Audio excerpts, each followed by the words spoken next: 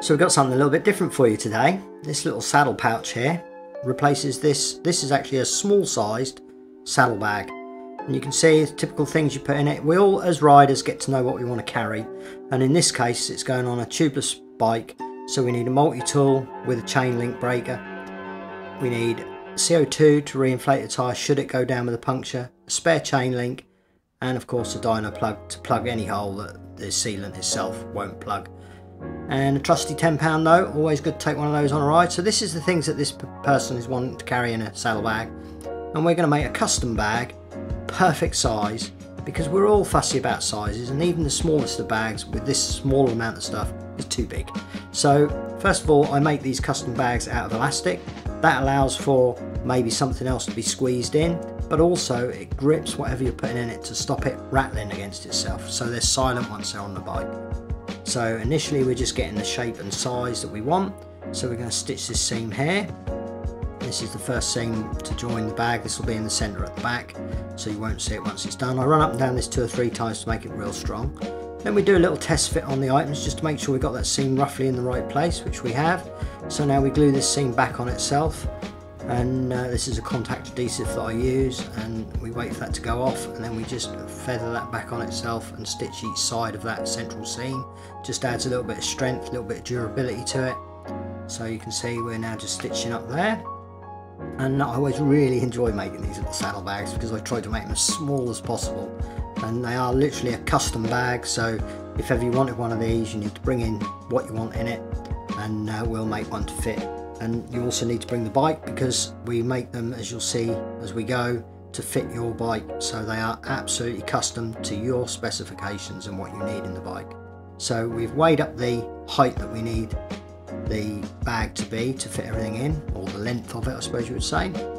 So we're just running that seam along the bottom. This will become the bottom of the bag and give that a little cut out. So I'd also just melt the tips although rubber uh, is used for elastic. It's also got some nylons in the thread, so I just melt those off and make sure they're nice. Turn the bag inside out, so now we can just do a test fit of all the parts that we want to put in there. You can see everything's slotting in there nicely now, and that's beginning to fit nicely. Next up, we want to weigh up where we're going to put our straps to make this really tight under the seat. And then we just want to make a, a leather flat little, you know, cover for it the leather I use is chrome leather. It's um, You'll see as I cut that, it's got that little white layering inside that. That's actually makes leather a little bit more waterproof than perhaps a suede or a standard leather. So that's what we've got here, is a piece of chrome leather. And then we just stitch the little toggles on, the little D-rings I suppose you would call those, plastic, so that they don't rust. And begin to weigh this up, make sure everything's in the right place. Next up we cut our velcro straps. And begin to get everything in place. So we sort of do it in stages we try parts and you know if they go if they're not right then we can remake them to to fit perfectly.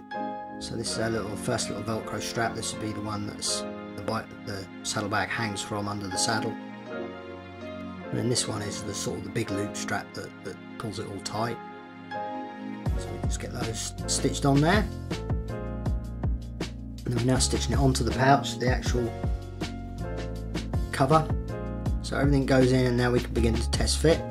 So we get everything back in there, check that it's all right. So the first strap is the one under the saddle. This is sort of traditionally one that would be adjustable on a normal saddlebag, but we're making this custom so it has to be exactly the right length.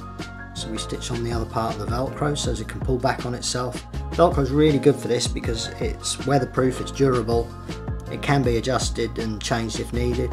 And I just also just stitch a little leather tip on the end of it to give you something to locate against. So you can see that's now really tight under there. And next up we're just weighing up the length for the cover.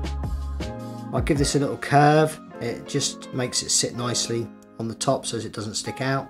And that's now beginning to look really nice. Another little end tip on the strap just to finish that off nicely rather than just a velcro end and you can see this is really beginning to come along now a little bit of stitching on here so now we can test fit so 10 pound note multi-tool with a chain link uh, the chain link itself CO2 canister CO2 deployer and the dyno plug pack and you can see the difference in those sizes. That one on the right there is a small saddlebag that you would buy. It's the smallest one I currently sell that's not custom. So you can see the difference in the sizes. So now we're just fitting this up. Top strap is always a little bit of a fiddle because it's tight and then we've got this, the cover, which sits around the seat post and you can see that looks lovely. So we can just open that up, it stays on the bike and you can pull out whatever you need and repair your bike or get home and everything's nice and tight.